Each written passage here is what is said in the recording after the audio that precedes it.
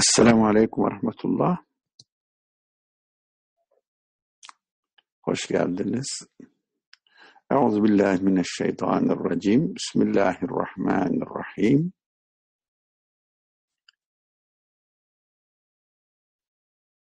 حسبي الله لا إله إلا هو عليه توكلت وهو رب العرش العظيم حسبنا الله ونعم الوكيل نعم المولى ونعم النصير غفرانك ربنا وإليك المصير. وصل اللهم على محمد وعلى آله وأصحابه وأتباعه أجمعين. والحمد لله رب العالمين. آمين.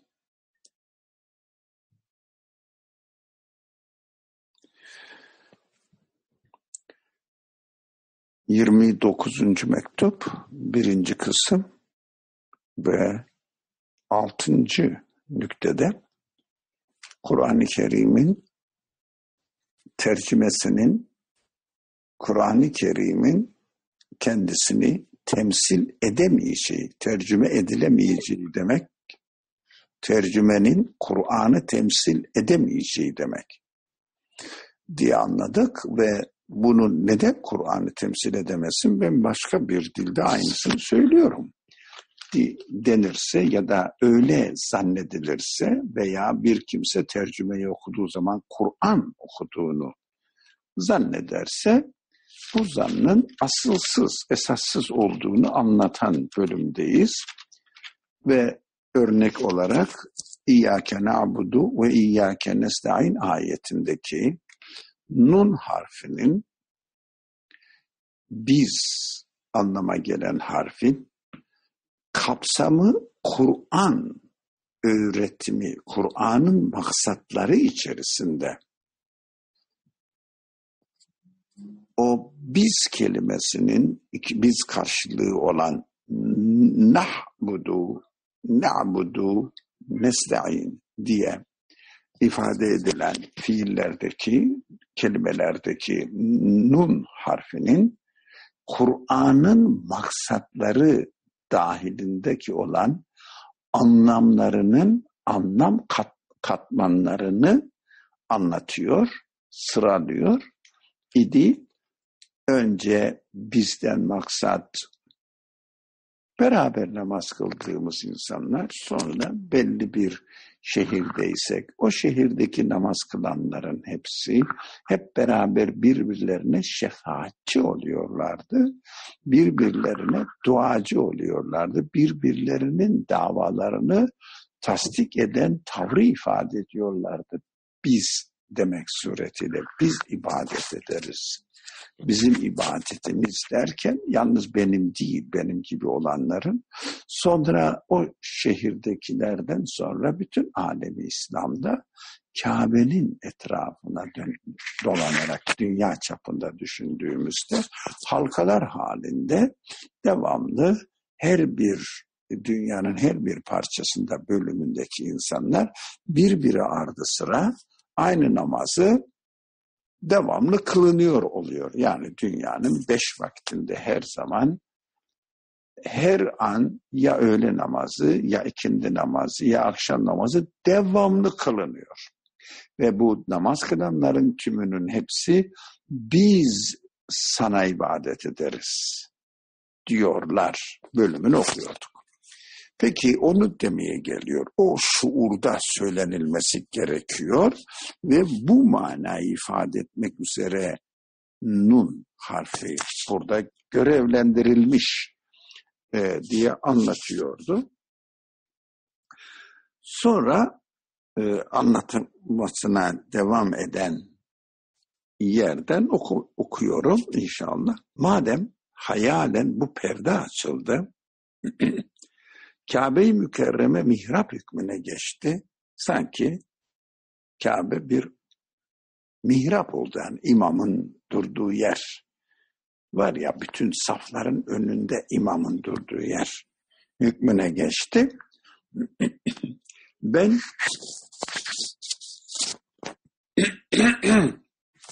bu fırsattan istifade ederek o safları işhat edip, şahit gösterip, o saflardaki bulunan insanların hepsini şahit gösterip tahiyyatta getirdiğim en sonunda namazın ikinci rekatın sonunda, dördüncü rekatın sonunda, her iki rekat sonunda ya da namaz sonundaki oturma halinde iken e, genellikle Müslümanların birlikte okumakta veya artık ifade etmekte ittifak ettikleri e, bir e, ettehiyyatü lillah diye başlayan e, parça var diyeyim o parça. Gerçi Kur'an'dan toparlanma ama yapı olarak Kur'an'dan bir parça değil.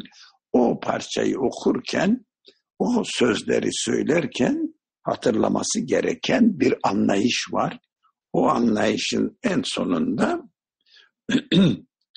Eşhedü en la ilahe illallah diyorum. Ben şahit oluyorum. Şunu anladım, şu sonuca ulaştım ki artık bu konuda kalbim rahat ediyor ki eryüzünde, dünya, bu alemde, kainatta kainatın varlığına neden olacak, kendisinin varlığına neden olacak, kainattan her bir parçanın varlığına neden olacak. Hiçbir kaynak, hiçbir vesile, sebep görmüyorum. İllallah ancak anlıyorum ki şu kainatın yaratıcısı var ve o yaratıcıya Allah ismi veriliyor. O bu kainatı yaratan olmalıdır. Sonucuna ulaştım. Bu konuda şehadet ediyorum. Ve eşhedü enne Muhammeden Resulullah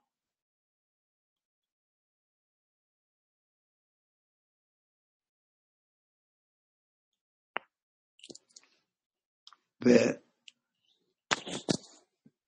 yine şu sonuca ulaştım ki şuna şahit oldum ki şunu tasdik ediyorum ki ilan ediyorum ki artık bütün bu anlamları içeriyor şehadet kelimesi.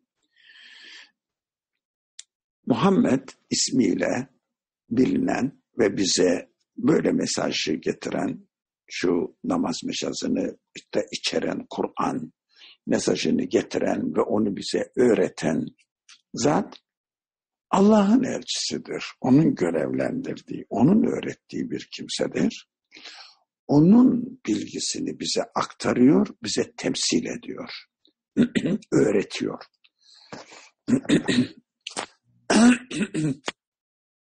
Peki bu özet özet olarak eşhedü en la ilahe illallah ve eşhedü enne Muhammeden Resulullah olan imanın tercümanını ki bu cümle imanın tercümanıdır. Yani Allah'a inanmanın.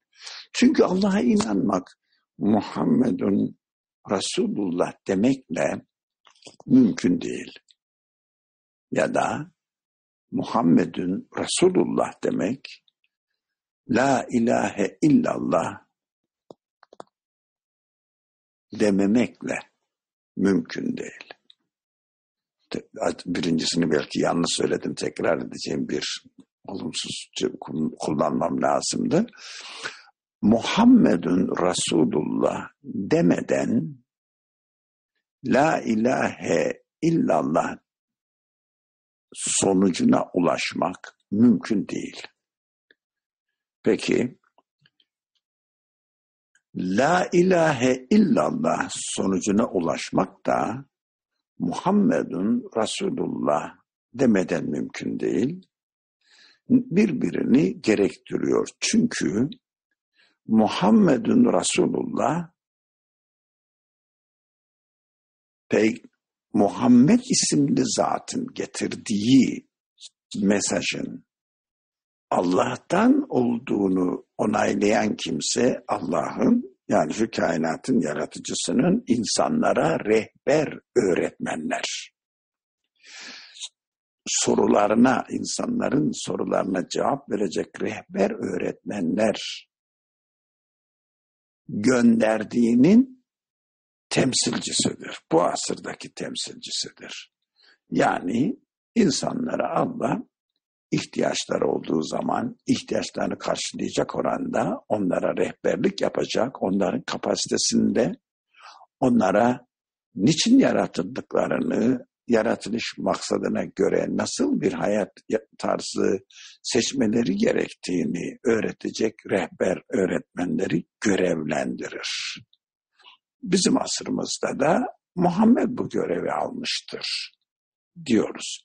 Ve bu görevde bize bildirilen, bu görevin bize aktardığı en önemli mesaj şu kainatın kainat cinsinden olmayan bir yaratıcısı var. Haberiniz olsun. Zaten şu kainatın varlığını böyle bir yaratıcıya izafe etmeden, nispet etmeden bu kainatın varlığını izah edemezsiniz. Çünkü hiçbir şey bu kainatta kendisini var etme özelliğine sahip değildir.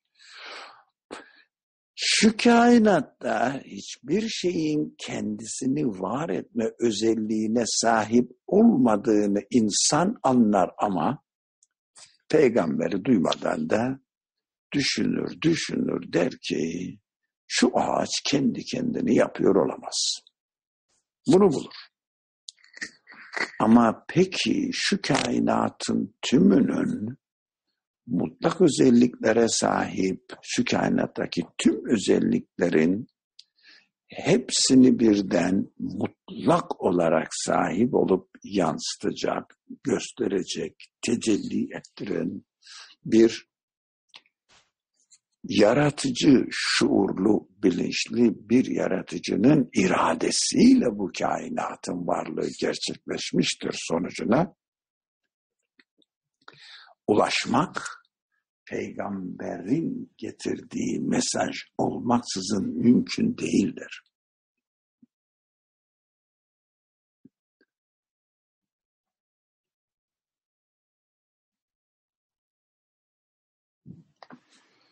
Bir arkadaş tamam. şeyler söylüyor ama anlamıyorum. Yani yazmış buraya. Erkan Emin bilir bu işine gidip girerek gerekli buram indirip ge derse girerse arkadaş üyeliğe gerek yok. Tamam. tamam. Anlaştık. Peki. Tamam. Aleykümselam.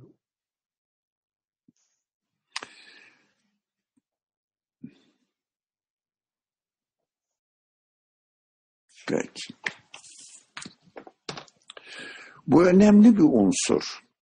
İnsanlar peygambere falan gerek kalmadan biz bir kainatın yaratıcısına inanıyoruz. Vardır, yaratıcı vardır. Ona hangi dilde ne derlerse önemli değil. Ben onu söylüyorum vardır diyor. Allah diyor. Yok başka bir kendi dilinde Allah hangi kelimeyle ifade edilirse onu söylüyor vesaire.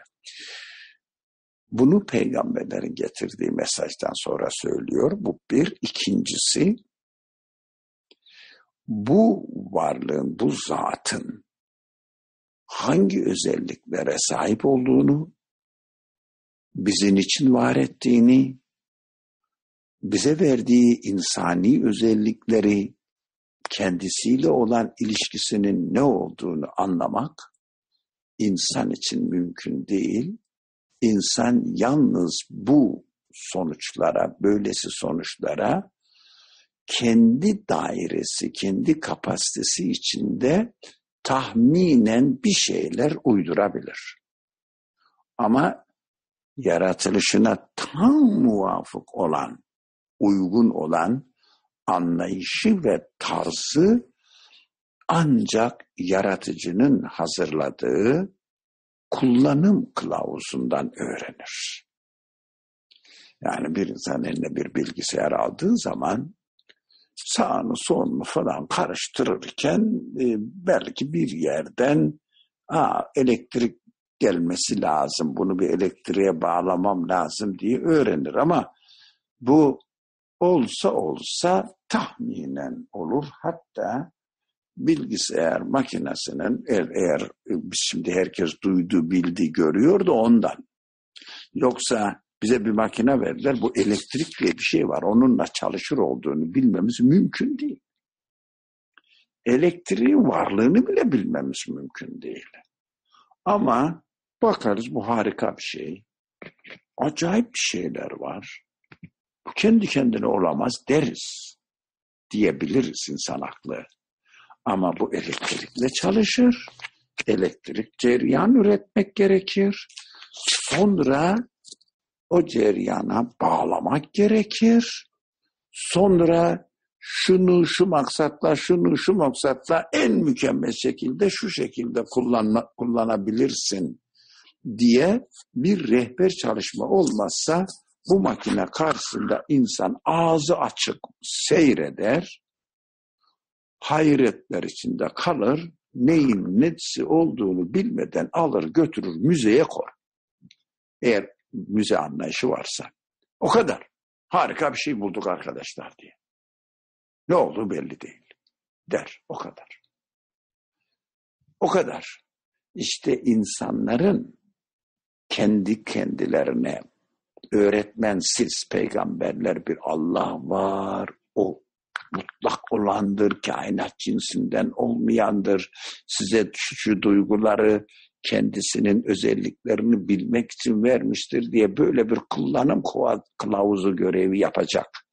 Kaynak ile gelip onun da uygulamasını yaparak bize bak şura şura şöyle yaparsan şu sonucu alırsın ekranda göstere göstere öğreten bir öğretmen olmadan bizim yaratıcımız ile bağlantı kurmamız ve kabiliyetimize en uygun bir şekilde bağlantı kurmamız mümkün değil. Zaten mümkün olmayacak şekilde yaratıldığımız için sanki yani yanlış anlaşılmasın dikkat edin Allah'ı eksik yaptı demek için değil. Sanki Allah beni öyle bir şekilde yaratıyor ki öğretildiği zaman anlayacak, öğretilmediği zaman fark etmeyecek bir kapasite de yaratmış. Onun için de öğretmen gönderip öğretiyor, varlığımı tamamlıyor. O zaman anlıyorum ki öğretmen olmadan benim la ilahe illallah demem mümkün değil. Yalnız yalnızca la ilahe demem mümkün. Zaten tarihte ulema bunun e, tartışmasını yapıp sonucunda insan o tartışmaları okuyunca ha bazıları la ilahe deyip kalmayı Allah'a iman olarak kabul etmiş. Bazıları hayır illallah diyeceksin demiş. Onun için akıl Allah'ı bulamaz demiş diye anlıyorsunuz. Yalnız e, dikkatli çalışmak gerekir. Ulema bu konuda senden daha iyi bilir. Sen mi onlara e, akıl vereceksin deme. Çünkü onlar bu konuyu ilk defa ciddiye alan insanlardı. Konuya hangi açıdan yaklaştılarsa ona göre bir izah getirmişlerdi. Kendi açılarına göre kendilerinin haklı olduğunu görüyorsunuz. Ama sonuçta kendi açılarının hangisi doğruysa o doğru olan da ittifak etmişler, icma etmişler anlaşılıyor. Hala bazı kimseler konuyu bilmediği için sıfırdan ne derler e, Amerika'yı yeniden keşfetmeye gerek yok ama bazıları oturuyor işte aklımız yeter bize diyebiliyor vesaire. İnsan kendisi bulur Allah'ı peygambere falan gerek yok. Peygamber cahil insanlar içindir ben okumuş yazmış insanım diyen bazı tipler çıkabiliyor. Onların da bu böyle iddialarının aslı esası duyduklarını ha aklı dayattığı için ben onu aklımla buldum demeye getiren bir tür yanlış anlamalar var. Peki bu La ilahe illallah ve e, eşhedü la ilahe illallah ve eşhedü enne Muhammeden Resulullah olan bu neden önemli? Bu imanın tercümanı bu. Yani iman nedir denildiğinde canım iman işte kalple tasdik ettin. Neyi tasdik ettin kardeşim? Allah'a. E, bu özü, bu açıklamayı Eşhedü en la ilahe illallah ve eşhedü ben şahit olduğum, ben müşahede ettiğim, ben kesin bu işi gördüm, bildim, anladım artık. Tasdik ediyorum. Muhammeden Resulullah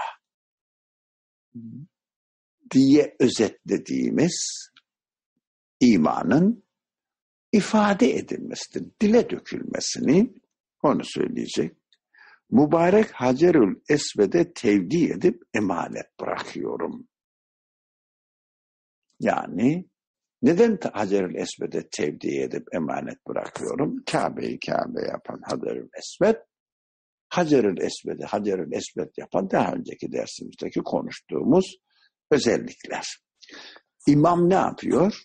Hacerül Esved'e yönelmek suretiyle bu dünyada ilahın olmadığını ilan ediyor. Ben de onun arkasında İyyâke nâbudu ve İyyâke nesta'in diyen imamın arkasında bu işin içinde ben de varım. Senin dediğini onaylıyorum. Sana katılıyorum manasında ben de İyyâke nâbudu ve İyyâke nesta'in demek, demek suretiyle o saf saf saf saf duran insanların hepsi birbirlerini şahit göstererek birbirlerine şefaatçi yani evet bak benim dediğimi bu da diyor. Bunun dediğini de ben onaylamış oluyorum. Bu da benim dediğimi onaylamış oluyor manasında birbirlerinin sözlerini tasdik ederek ta başta imamın dediği sözü evet biz sana katılıyoruz manasına getiriliyor ve onu da e, Hacerül Esved ile temsil edilen tevhid anlayışına anlayışının sembolüne temsiline diyoruz. Evet bu taşın yaptığı şahitliğe şahit olmuştu ya Hazreti İbrahim'in tevhidin babası Hazreti İbrahim'in yaptığı tevhide şahit olmuştu ya. Ben işte bu şahitliği tekrar gündeme getiriyorum. Gerçekten bu dünyada tapınmaya değer, yaratıcı olduğunu iddia etmeye değer hiçbir şey yoktur. Görmüyorum. Bunu tanık oldum, şahit oldum ben bu işe diyoruz. Böyle bırakıyorum derken birden bir vaziyet daha açıldı. Bunu yapınca, bunu yapınca bir kapı daha açılıyor. Gördüm ki dahil olduğum cemaat üç daireye ayrıldı. Şimdi bakalım neymiş onlar. Birinci daire ruh zeminde müminler ve muvahhidindeki cemaat uzman. Şimdi şu müminler tabakası, muvahhidin tabakası dikkat edelim burada. Nursi ilginç bir kelime kullanıyor. Muvahhidin tabakası ne demek bu? Tek bir Allah'a inananların grubu. Muvahhidin tabakası, müminler, Allah'a inananlar grubu. Peki insanların Allah'a inananlarının hepsi. Peki yani biraz açık konuşmak gerekirse Müslümanlar deyip de hani coğrafi anlamda bir ayrım yapıp meseleyi basitçe e, ben Müslümanım dedim e, bitti işim diğerleri e, mahvoldu demekten biraz daha öte bir kavram hatta çok daha kapsamlı bir kavram kullanıyor muvahhidin. Yani yeryüzünde hiçbir şeyin ilah değil, yalnızca yaratıcı değil, yaratma, yönetme, hareket etme, kendiliğinden bir şey yapma özelliğine sahip değil. Ama bütün kainatı bilinçli iradesiyle varlığını tercih edip var edebilen, ona varlık verebilen ve varlığı vermek suretiyle kendisini bize tanıtan bir şuurlu fert, zat, halik, yaratıcı var. Bunu söyleyenler çok. Ha, bu yaratıcıyı, bu mesajı tasdik edenler çok. Muhammedur Resulullah'ı duymuş, mesajını duymuş, almış, başka isimler altında duymuş ama Müslüman diye bilinen insanların Muhammed isimli zatı, kişiyi kastederek yapmış olduğu mesajı onlar İsa diye bilinen bir e, zat anlamında görüyor. Musa diye bilinen bir zat anlamında görüyor. İbrahim diye bilinen bir zat anlamında görüyor. Muhammed'i kendisine yanlış ya da yetersiz tanıttıkları için onu gerçekten Allah'ı Allah'ın mesajını getiren kişi olarak bilmiyorlar değişik nedenden dolayı. Kasti olarak o Allah'a iman esasını getirdi. Hayır ben Allah'a iman esasına inanmıyorum. O adam yalan söyledi anlamında olanların ki tevhidi reddetmektir zaten. Yani bir Allah'a inancı reddetmektir zaten. Bu anla burada biraz e, değişik e, faktörler işin içine giriyor. Politik faktörler giriyor. E, medya faktörü giriyor. İnsanların yanlış temsilleri giriyor. İnsanların cehaleti giriyor. Gerçekten Kur'an ile gelen mesajın ne olduğunu bilmiyor oluşları giriyor. Yani birisi diyelim ki Müslüman olduğunu söyleyen bir ülkede, Irak'ta, Suriye'de, Türkiye'de, İran'da her neyse bir yerde adamın birisi ben Muhammed'in Allah Resulü olduğuna iman ettim dedi diye onun ne mesaj getirdiğini bildiği anlamına gelir mi? Hayır. Ve öbürü de bilmeden, birisi bilmeden evet diyor, öbürü de bilmeden hayır diyor. Bunlar biraz detaylı düşünülüp anlaşılması, izah edilmesi gereken noktalardır. Böyle toptancı konuşmak çok yanlış olduğunu görüyoruz. Artık ben görüyorum ama siz görüyor musunuz bilmiyorum. Çok kendisine Müslüman diyen, Muhammedur Resulullah diyen kimsenin Muhammed'in getirdiği mesaja, şeriata, kurallara aykırı olduğunu, ne dediğini bilmediğini, kendi kafasından bir sürü hükümler çıkarttığını gördüğümüz gibi Muhammedun Resulullah demediği halde Muhammed'in getirdiği mesajın özünü onaylayan ben çok insan gördüm. Ama onu e, Muhammed'e izafe etmiyor da İsa'ya izafe ediyor, Musa'ya izafe ediyor, İbrahim'e izafe ediyor, ne bileyim Nuh'a izafe ediyor. Yani Kur'an-ı Kerim'deki bahsi geçen Allah elçilerine, rasullerine izafe ediyor. Muhammed'i şu veya bu şekilde yanlış tanıtıldığı için terörist bir adam olarak görüyor ve teröriste evet demiyor. Eh, teröriste evet dememek de doğrudur. Ama Muhammed Aleyhisselatü Vesselam terörist midir? Kılıçla insanları zorla kendine tabi tutmuş bir insan mıdır? Orasını araştıracağız. Bu kişiyi araştırıyor mu? Eh, radyodan, televizyondan veya diğer sosyal medyadan duyduklarına göre araştırdım zannediyor. E, çok Müslüman olduğunu söyleyen, Muhammed'i onayladığını söyleyen kişi var. O belki bu medyadan şuradan buradan da duymadan ben Müslümanım deyip geçiştirmiş. Kafir demek hiçbir surette hiçbirisi için doğru değilken bir, bir kısım var geçiştirmiş onlar haklı bir kısım var geçiştirmiş ama haksız demek de doğru değildir. Ne yapacağız? İnsanları bilmiyoruz ama biz kendimiz araştıracağız. Fakat Nursi burada kasıtlı olarak Müslümanlar demiyor da müminler ve muvahhidinler cemaati usması diyor. Daha kapsamlı, daha kucak açıcı, daha sevecen, daha insanları gelin bakın biz sizi reddetmiyoruz. Siz gerçi bilmiyorsunuz ki Muhammed sizin mes dediğiniz mesajı getiren, onaylayan, genişleten, tazelendiren, yenilendiren bir mesajla geldi. Ama yaklaşırsanız bize anlatırız size diyen bir tavır var. Biz bu tavrın kıymetini takdir etmemiz lazım. insanların muvahhid olup olmadığına bakmamız lazım.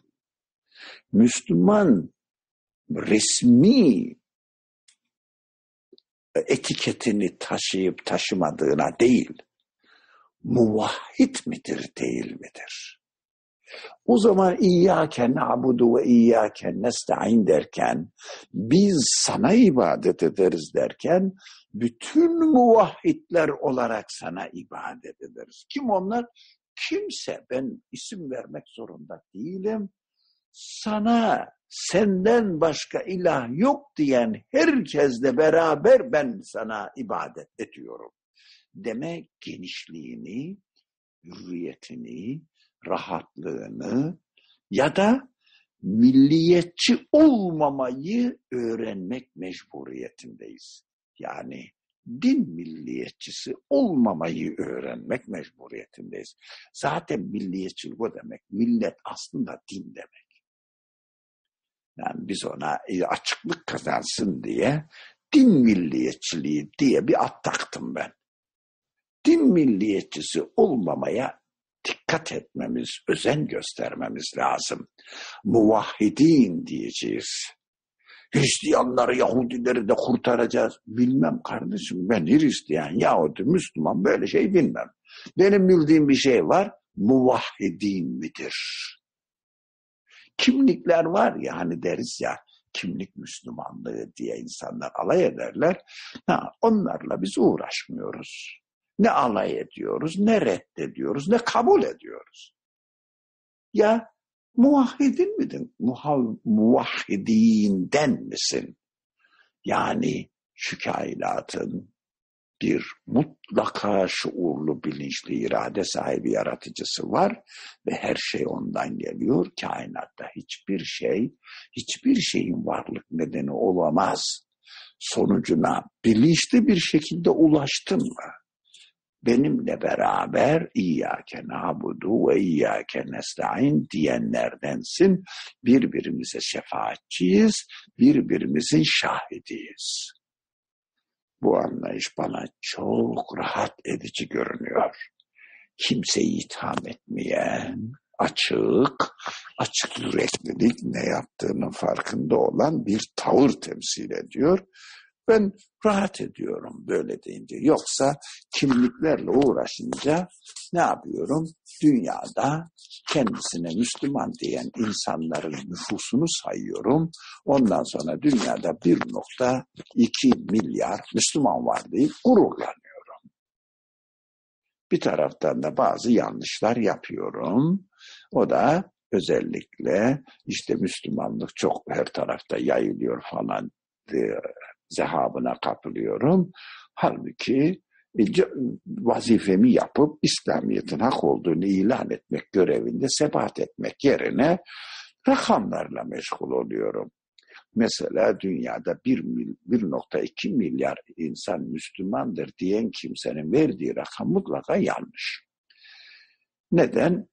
Bu bir demografik yani nüfus sayımına dayalı bir rakamdır muvahhid olup olmakla ilgisi yok. İkincisi 14-15 yaşından küçük olan tüm çocukların hepsi Müslümanken bazılarına Müslüman, bazılarına Müslüman değil damgası vuruyorum.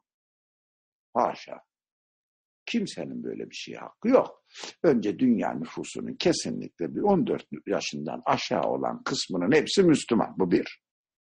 Artı Muvahhidinlerin hepsi Müslüman. E o zaman bizim nüfusumuz yani o genel demografik anlamda istatistiksel rakamla 2 milyarı aşar. Ama bu kapsamlılığı gösterebilmem lazım. Bir de, bir de 2 milyarı şöyle aşar. O çocukların hepsi garanti Müslüman, öbürleri bilmiyoruz. Öyle diyorlar. Bir de öyle demediği halde muvahhidin olanlar var. O zaman rakamımız 3 milyar, 4 milyara yaklaşıyor. Korkma. Yani çoğunluğu temsil ediyoruz dünyada. Öbürleri muvahhidin değil de ya bilmiyoruz deyip pres bırakmış. Ya işte ben Hristiyanım, ben Müslümanım demiş. Ne dediğinin farkında değil. Olanlar var. Onları da ben de bilmiyorum. Kimdir, nedir, ne yapıyor ama öyle olanlar olabileceği ihtimali de gözümün önünde görünüyor. Bazen de insanların iddialarında duyuyorum onu ama iddialarının gerekçesi nedir? Yani bir yerde birisi hakaret mi etti? Ne yaptı? Mesela Müslümanım diye birisiyle evleniyor Almanın biri. Ondan sonra ya bu İslamiyet güzel bir şeymiş gibi falan görüyor. E, ben de Müslüman olayım zaten öyle olmazsa evlendirmezler beni diyor. Hadi Müslüman oldum diyor.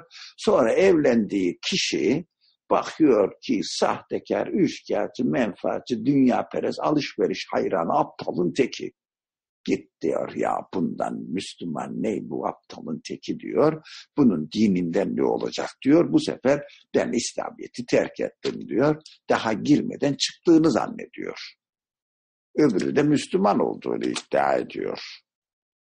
Yani böyle işlere bakınca insanın midesi bulanıyor. Ya kiminle halt ettiği belli değil. Aman kardeşim insanların kimlikleriyle uğraşmak sonucuna ulaşıyoruz. Ki bu olay hiç nadirattan falan değil. Çok çok olan bir olay. Efendim bir yerde bir köylü Endonezya'da mesela şimdi çok yaygın e, insanlar öyle anadan babadan doğma biz Müslümanız demişler ama hiçbir şeyden haberleri yok. Böyle kendilerine göre yaşıyorlar. Bir Hristiyan Müslüman e, misyoner ekibi geliyor ona. Şu veya bu şekilde maddi yardımlarda falan bunu para verip okul veriyor veya iş sağlıyor falan. Ondan sonra Diyor ki işte bak bizim iyi insanız değil mi diyor. Bak seni doyurduk işte hastane ihtiyacını, eğitim ihtiyacını, çocuğunun ihtiyaçlarını karşıladık. O da e, siz iyi insansınız diyor. İşte biz Hristiyanız siz de Hristiyan olun. Hristiyan olarak e, e din, din uygulaması yapalım diyor. Oraya o köye tutuyorlar bir kilise yapıyorlar. Sonra insanları kilisede bilmeden, haberi olmadan, ne yaptığını bilmeden bir şeyler söylettiriyorlar. E zaten o adam camiye gittiğinde de ne yaptığını bilmeden bir şeyler söyleyenlerin arasına girmiş gitmişti. Arada bir fark yok. Onlara da Hristiyan oldu, Müslümanlar Hristiyan oluyor diye yine istatistiksel rakamları konuşturtuyorlar. Resmi kayıtlardaki senin baban doğduğunda sana diyorlar ki senin baban annen Müslümandı sen de Müslümansın. Dur bakayım karar verdim mi canım? 14 yaşına kadar serbestim Müslümanım da ondan sonra karar vermem lazım. Verdim mi diye sormak gerekiyor. Sorup sormamakta insanlar sormadan tutturup gidiyorlar. Bilemem. Ne bileyim Allah bilir. Yaratıcı bilir onların kalbinde ne var ne gibi tercihler yapıyorlar. Ne bileyim ben kimse kimsenin kalbini okuyamaz ki. Onun için o kişi hakkında bir hüküm vermek bana düşmez. Ama dilinden ben Müslümanım, ben Hristiyanım dedi dediğinde de ne yaparım ben? Dilden çıkana göre fıkhi bir hüküm verir. Bu adam Müslümanım diyor Müslüman. Öyle diyor çünkü. Yani hakimler karar verir ya bu adam ne dedi? İşte ben hırsızlık yaptım dedi. E, hırsız muamelesi yapıyor, cezasını veriyor. Ne oldu? E, adam öyle dedi. İşte, deliller öyle dedi diyor. Yoksa hakime sorsan yüzde yüz emin misin? Ne bileyim be kardeşim de. Ben delillere baktım, ileriye sürülen delillere baktım, öyle gözüküyor, öyle karar verdim der. Kesin, kesin kimse bilemez. Biz de bilemeyiz, hakim de bilemez, bu işin uzmanı da bilemez. Ne yapıyoruz? Eh, dışarıdan bakına göre fıkhi hüküm veriliyor. Gerçekte ne var bilmiyoruz. Onun için burada muvahhidin kelimesiyle kim eğer kainatın yaratıcısı olan bir şuurlu, bilinçli zat var, bir varlık var. Bu mutlak olandır. Kendili, varlığı kendinden olan, yaratılmış olmayandır diyorsa bizim duamıza veya İyyâke na'budu ile kastettiğimiz maksada dahildir. Önemli bir nokta olduğu için o birinci dairede böyle bir genişleme gördük.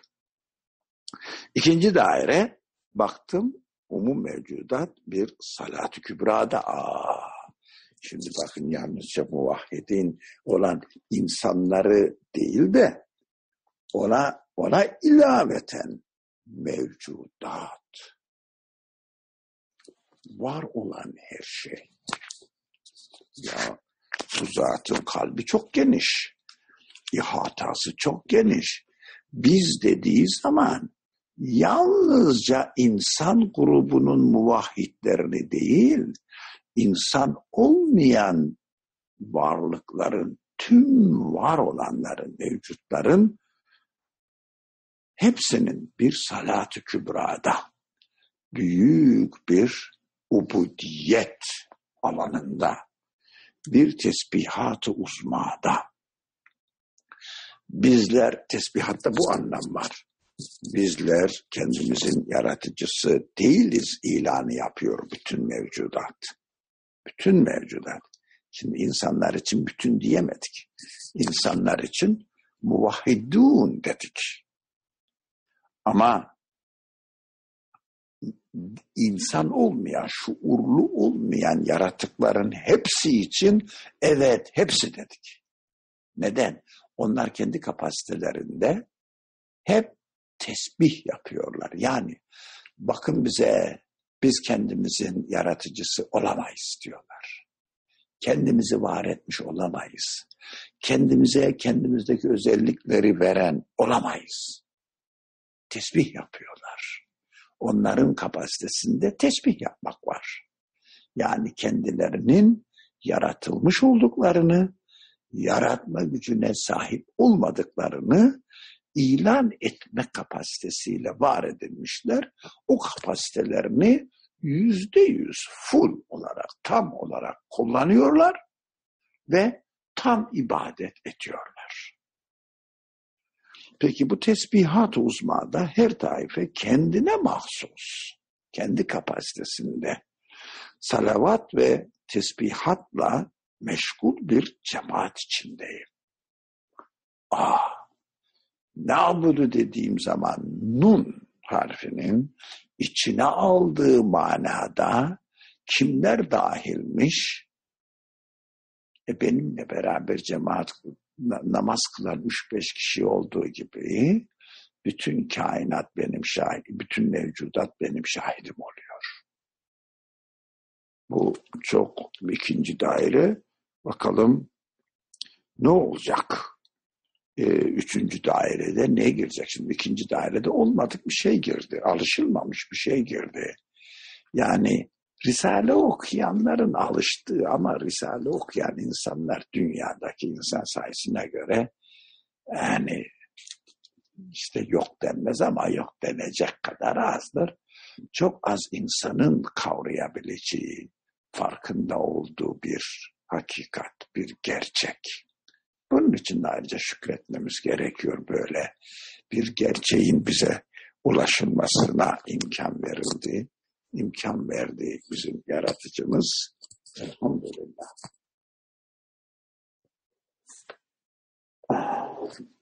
Peki efendim bir Fatma Hanım'ın yazdığı var okuyorum. Siz insanların iyiliği için ortaya çıkarılmış en hayırlı ümmetsiniz. İyiliği emreder, kötülükten men eder ve Allah'a inanırsınız. Ehli kitap da inansaydı elbette bu kendileri için çok iyi olurdu. Gerçi içlerinde iman edenler var fakat çoğu yoldan çıkmışlardır. Ali İmran 110. Herhalde bunu e, biz muvahhidin tabirinin neleri içerdiğini, ne gibi anlamları içerdiğini konuşurken yazılmış olsa gerek. ve onunla ilgili bir ayet Kur'an-ı Kerim'de de yani böyle dışlayıcı, e, davranılmaması gerektiğini e, içlerinde iman edenler var. Fakat çoğu yoldan çıkmıyor. Ama dikkat etmek gerekiyor. Yani eğer biz istatistiksel olarak konuşacak olursak bu ehli kitap kimlerdir? kitap sahibi olanlar, kendisine kitap gönderilen peygamberlerle muhatap olduğunun farkında olanlar. Bunlar kim?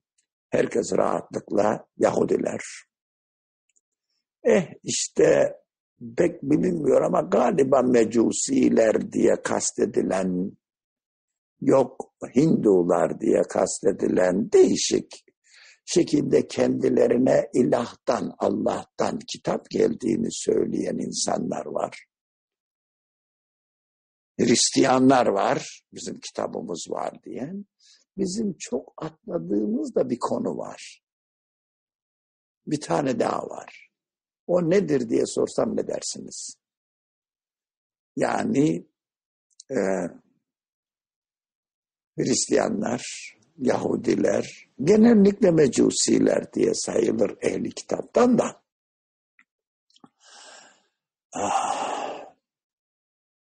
Peki, başka kim var? Söyleyecek var mı arkadaşlarımız? Soru neydi tam olarak? Ya kendisine kitap gönderilen grup insanlara veril, kendilerine isim veriliyor ya. Onlar kimlerdir? Ehli kitap, kitap verilenler kimler? Çok basit. Ehli kitap kim? İlle de adam ismi saymaya gerek yok. Bak bir tanesini söyledik.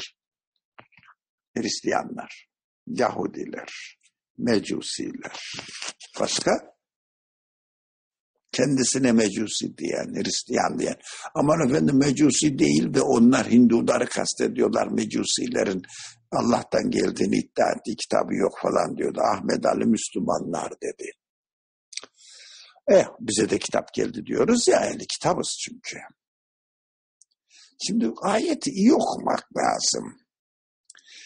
Ayette ehli kitaplar var ve kendileri için elbette inansaydılar onlar, yani böyle ehli kitap grubunun içinde istatistiksel olarak dedik ya onu yani biz Müslümanız diye öyle yani oturup karar vermiş mi vermiş mi bilmiyoruz ama kendisini Müslüman diye tanımlıyor. Çünkü çevresinde kendisine biz Müslümanız denilmiş. İnkar ediyor mu? Hayır. Tasdik ediyor mu? Bilmem. Ne, neyi tasdik ediyor? Sormak lazım. Sen neyi tasdik ediyorsun kardeşim? Niçin Müslümansın deyince biz Türkler Müslümanız diyor. Peki olabilir. Biz Araplar Müslümanız diyor. Bilemem yani. Tamam ama neyi tasdik ediyorsun denildiğinde şöyle. Kur'an diyor ki onlar da inansaydı ehli kitap onlar ehli kitap inansaydı elbette bu kendileri için çok oldu, çok iyi olurdu. Ama içlerinde iman edenler var, çoğu yoldan çıkmışlardır. Acaba bu cümle beni, yani ben Müslümanım diyorum ya, beni de kapsar mı? İşte bunun için ne yapmak lazım? Ciddi bir şekilde kendimizi bir hesaba çekmemiz lazım. Acaba ben ne zaman karar verdim, neye karar verdim ki o kararıma göre şimdi şimdi kendime Müslüman veya bir şey diyeceğim.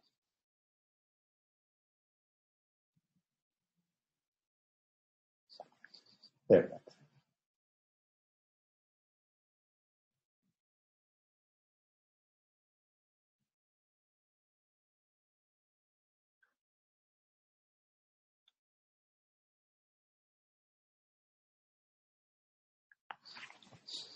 Evet.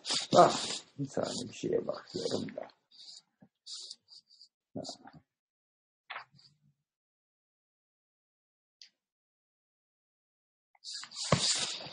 Evet. Peki Yani derler ya e, iğneyi kendine batır. Ondan sonra çuvaldızı başkasına batırabilirsen batır. Biraz zor. Ben ne zaman neye karar verdim, neden ben kendime Müslümanım diyorum, bu benim için ne ifade ediyor sorusunu sorup kendisini hesaba katan, hesaba çeken bir insan başkasını itip kakarken daha tedbirli oluyor. Yani ben neyi ne kadar nereden araştırıp da ne yaptım dediğinde kendisinin yani bu hani Allah'ın kitabı biz bu dünyaya bu kitaba inanmaya geldik dediği halde o kitabı belki de hiç eline almamış ve kendisine de hala Müslüman diyen ama inkar ediyor değil bilmiyoruz. Çok insanın varlığını biliyoruz. O zaman ne diyeceğiz? Aa, böyle toptancı konuşmak iyi değil. Ne yapacağım? Kendi başımın derdine bakacağım. Peki, biz ikinci daireye geçmiştik. Bütün mevcudat tesbihat yaparak kendilerine mahsus olan, kendi kapasitelerinde dahilinde olan tesbihatla meşgul bir cemaat içinde buluyorum kendimi. Onları da benimle beraber La ilahe illallah diyor diye buluyorum. Ve zayıf eşya tabir edilen hıdamat-ı meşhude onların ubudiyetlerinin ünvanlarıdır. Yani çok basit bir örnekle efendim e, onların vazifesi mesela ağacın ya da e, e, domates bitkisinin vazifesi domates üretimine vesile olacak bir ubudiyet görevi verilmiş. Bu onu yapıyor. İşte bak o da namazını kılıyor. İbadetini yapıyor. İyyâke na'budu ve iyyâke nesta'in diyor. Ben ondan yardım isterim. Ben kendim domates falan yapamam. Ben bir otum, bir hücreyim. E, partiküllerden yapılmış bir hücreyim. Kendim domates yapmaya karar verecek veya tercih edecek bir özelliğim falan yok. Yani bir binanın e, duvarında bulunan bir tuğla diyor ki ben bu binanın oluşmasında, yapılmasında bana görev verildi. Buraya konuldu. Sen burada duracaksın denildi. Ben de orada duruyorum. Zaten durmama diye bir şey, kabil, istidadım yok. Bu halimle tesbih ediyorum ki bu binayı yapan beni buraya koydu diye.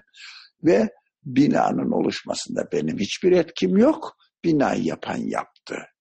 Beni buraya koydu ve bina ona aittir, bana ait değildir. Yanlış anlamayın diye devamlı tesbihat yapıyor.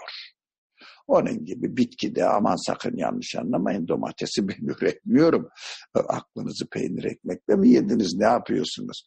Bana sen domates ürettin diyorsunuz demeyin böyle diye devamlı bağırıp duruyor adam. Veya bitki öbür taraftan mesela bir inek süt yapıyor e, ama diyor ki ben yapmıyorum bunu İyyâke nesta'in benim yaratıcım bana bu görevi verdi. Ben de bu görevimi yapıyorum. Bu da benim ibadetim diyor. Sen ey insan ne yaptın? Sen de kendine bak diyor. Böylece inek veya koyun insana ders veriyor, hatırlatıyor. Hadi ben vazifemi yaptım, süt gel yaptım, otumu yedim, suyumu içtim. Şimdi sütümü yaptım yani kendim yapmadım bana yaptırıldı ama sen irade sahibisin. Senin tercih ederek ne ürettiğine bakalım diyor. Tabi insanların ne ürettiğine baktığımızda kendimize insan olarak ne ürettik? Yani yaratılış vazifemizde hangi tesbihatı yaptık diye kendimize sorduğumuzda ne görüyorsak ona göre kendimiz hakkında karar verelim. İnekten, ottan, çöpten, böcekten ders alalım sivrisinek geliyor, konuyor benim derime, oradan buluyor e, damarı, piskan damarını neyse ne kanlıysa işte o damarı benden daha uzman buluyor, alıp götürüyor, ben vazifemi yapıyorum diyor. Bana bu vazife yapma görevi verildi. Ben vazifemi yaptım. Ey insan sen ne yaptın diye bana hatırlatıp gidiyor. Tabii bizim biz o hatırlatmadan hiç ben nasip almıyorum. Sivrisineğe kızıyorum, öldürüyorum vesaire. Niye bana vazifemi hatırlattın dercesine, beni incittin dercesine. Ne güzel tembel tembel rahat ediyordum şimdi. Niye benim rahatımı bozdun dercesine o vazifeyi yapan abid, ibadet eden kulu öldürüp işini bitiriyorum. Ve ben öyle yapıyorum. E, gerçekten yani şaka falan yapmıyorum. Tevazu falan değil. Böyle sivrisinek konduğu zaman pat bir tane vuruyorum. İddim. Şimdi biraz vuramıyorum da. Yani öyle öyleyim diyelim. Taraftar değilim de zafiyetimden dolayı öyleyim. Ama öyle olmamak lazım. Ee, onu şimdi şimdi anlamaya başladım. Yani bu kadar yıl daha sonra yok yok yok bu adam bana vazifemi hatırlatıyor. Ben bunu yaptım, yapmak üzere yaratıldım. Sen ne yapmak üzere yaratıldığını söylüyorsun ve yapıyor musun onu diyor. Bana. E tabi ben Kur'an bizim Allah'ın kelamı diye bağırıp çağırıyorum ama hiç de ondan ders almak için zaman ayırmıyorum. O, o da benim kendi kendimi kandırmam ve böylece kendimi hani Müslümanlardan birisi değil kurtulmuş ilan etme sahtekarlığımdır. Yapmıyorsam. Yapıyorsam elhamdülillah. Şimdi burada dikkat edeceğimiz kelime ne? Nursi burada hiç kimseyi incitmeden çok güzel bir şekilde e, vazife eşya tabir edilen hidemat meşhude şimdi efendim sinek bunu yapıyor, e, arı bunu yapıyor da dünya toprak veya magma ne diyorlarsa o da dönerek e, kendisine verilen vazifeyi yaparak efendim atom o da işte elektronuyla, nötronuyla ne gibi at takıyorlarsa elementleriyle yapmış olduğu kendisine verilen vazife yapıyor.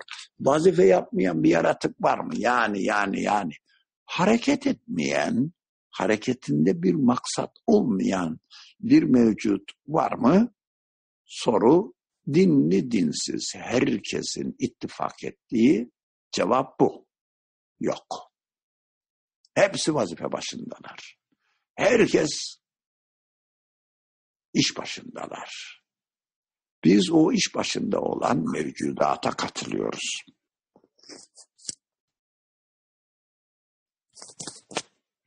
O mevcudatla birlikte İyyâke na'budu ve İyyâke nesta'in diyoruz. Her bir atom ben bir şeyler yapıyor gibi görünüyorsam o ben kendimden kaynaklanan bir güçle yapmıyorum. Bütün yardımımı beni yaratandan alıyorum. Ey insan sen ne yapıyorsun diyor.